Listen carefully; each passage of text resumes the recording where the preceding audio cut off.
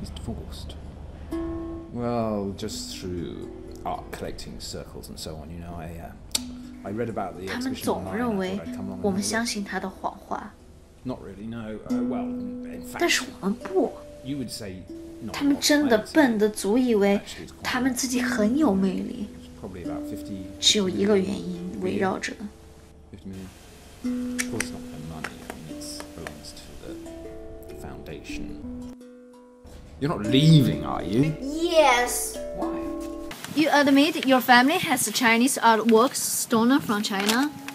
Well, a Chinese vase by the door. Why don't you bring it back to show you feel sorry?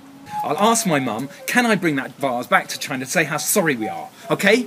Now, can you just please stop filming me? Okay. What is a pleasure dome?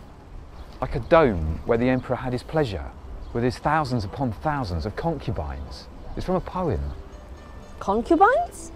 Concubine it means like his, not his first wife, but his second wife, and his third wife, and his fourth, and his fifth, and his sixth, and his seventh, and his eighth, and his thousandth. In Xanadu did Kubla Khan a stately pleasure dome decree, where Alph, the sacred river ran, through caverns. Ah! Ah! I think I've broken my camera. Good. You're an imperialist. And a Hua Hua 公子. I told you I'm not an imperialist. What's a Hua Hua Gongsu? I mean, look at China. People said China was a backward country, that she could never do something like hold the Olympics. But she did. And look at us now. Yeah, right, great. Impossible is nothing, eh?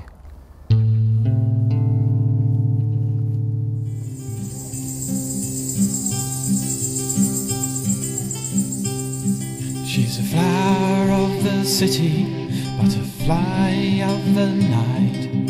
Everyone knows her, at least by sight. She slips through the doors, bankers and whores. It's always incredibly